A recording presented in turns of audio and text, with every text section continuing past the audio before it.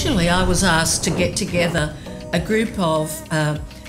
cancer patients who'd had radiation to discuss what can we do to improve the radiation experience for patients and families because proton therapy is a kind of radiation and the Australian Bragg Centre for Proton Therapy and Research is being built from the ground up. So it, you know ask the patients. But as a patient no matter how useful and vivid my memories and suggestions are I'm only just one person and I'm a great believer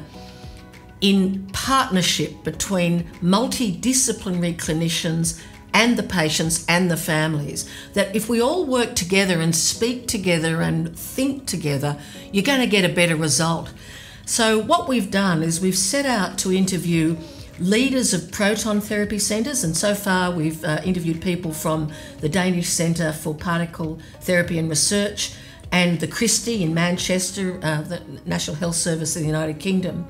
and also people from the Peter MacCallum Cancer Centre who are offering radiation therapy, and Princess Alexandra Hospital in Brisbane who do radiation therapy. And we've gone for all the different kinds of clinicians. So, yes, radiation oncologists and radiation therapists, but also the nurses and the allied health staff who are so critical to both the treatment and the recovery experience, as well as talking to patients and family members. And I think by talking more broadly, we'll get more um, information for our architects and designers to use, but also for the people planning the systems, the human systems um, that will support people through treatment and recovery.